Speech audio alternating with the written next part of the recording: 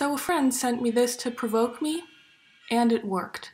But because acting like a snob doesn't help anybody, I'm here to explain to you in a calm manner why this is. I'll do you a favor and not recite graphic design's entire history.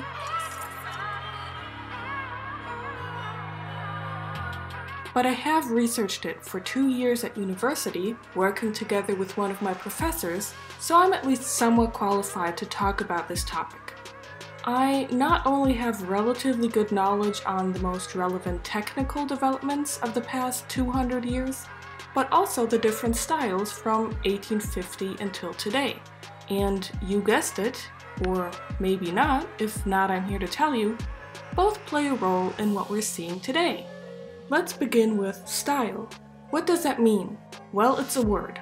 A word that describes and categorizes things that show similarities. The term can be quite helpful when it's specific, which minimalism, minimalistic, or minimalist are actually not. Just using minimalism as the theme, I can show you a multitude of images that all show different styles. It can be used as an overarching term, but it doesn't really mean that much. But even within a defined style, there are differences because nothing is just one thing. It can be one thing more than other things, but usually creatives draw inspiration from different areas and, in the best case scenario, make that into something new, maybe even creating a style of their own, going from 1.0 to 1.2.3, you know? Look at Art Nouveau, for example, and then let's skip a few years and look at psychedelic posters. There is definitely a lot of Art Nouveau in there, but they're uniquely psychedelic as well. That's how design works, and that's how trends work.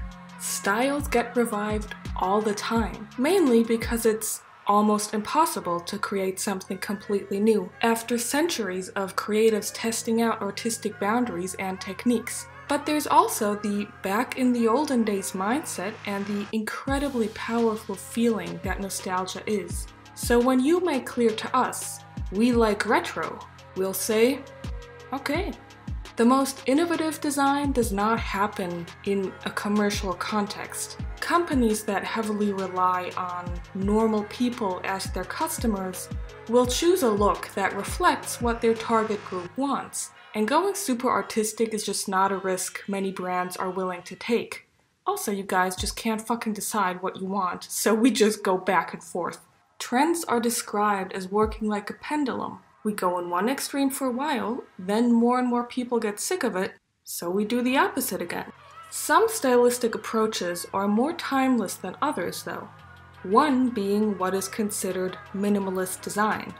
It's not very wise to give a style era we are still in a name, but at university we called it international style. The style landscape has obviously gotten a lot more diverse due to globalization, which is a good thing, but I'm talking about a very reduced design to work on an international scale that is well executed, timeless, and inoffensive. The well executed part being quite essential to that equation.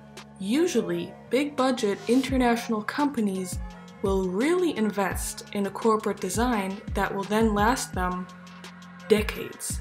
And you couldn't tell because the design doesn't follow a current trend but is just good.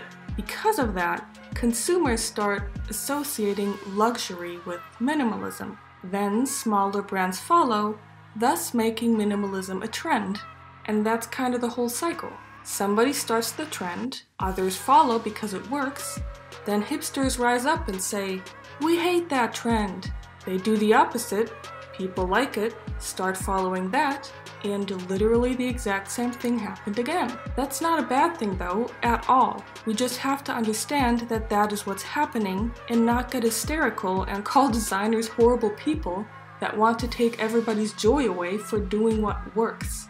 And I'm not honestly offended, but we're just doing our job. Please let us live. The question you might be asking yourself right now is who makes the trends though? And the answer is it is us, designers. But we follow them too. We shape the world, but also follow the world's shape. Design is not superficial at all, it's a reaction to what's happening. design is always within historical, political, and cultural context and has influence on that. One of the most relevant factors for design is the industry. And what was that one thing that completely changed the course of the world? I think it's called internet. If we look at the current trend everybody's hating on, this is what you get. The perfect design for an online presence. Is it less charming than the original? Absolutely. But just for funsies, let's take the old logo and place it here. This is bad. A brand's appearance is not meant to give consumers a good time while looking at it. It's supposed to work. And we're living in a world where online presence has become absolutely essential. This is also a world where people are primarily using their smartphones for online activities, and you know how small a phone screen is. Now imagine icons and logos being this stupidly detailed. That would suck. That's it but it's not. Because I also want to debunk the myth of this logo in particular, I've seen a lot of people giving it shit, calling it modern bastardization and ugly and all of those things, but the reduced version is not actually new at all. First of all, it's always been in the logo, so they're not pulling this out of their ass or anything. And also, it's been done as early as in the 20s, which again just proves my point of styles and trends coming and going.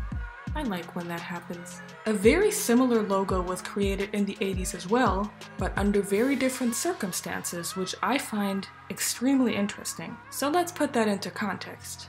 The release of the Apple Macintosh in 1984 changed everything. First of all, I have to give Apple props for their commercial. It was actually pretty well done. I'll have it linked down below. The Macintosh was the first time designers started using computers at all, and even back then, after only a few years of online experience, they figured out this minimalism shit works quite well on screen.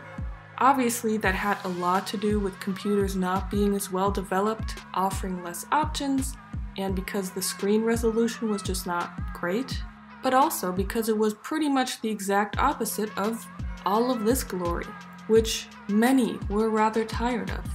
And here we have come full circle. Another example just to prove my point a final time, when the screen resolution improved, the trend was making everything 3D and shiny because it was the most modern, technically advanced thing we could do.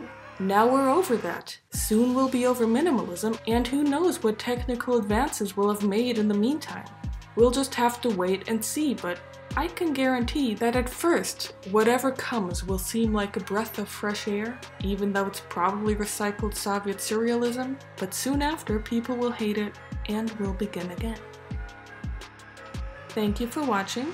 This was a shorter one. Thank God you didn't have to wait over a month. Nobody was waiting, what am I saying? I hope you enjoyed it. I hope you have a slightly better understanding of what's happening and are maybe reassured that this too shall pass.